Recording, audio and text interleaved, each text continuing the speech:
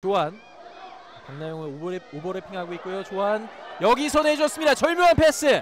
박나영 크로스 반대편 골! 한국희 한국희 한국희가 해냈습니다.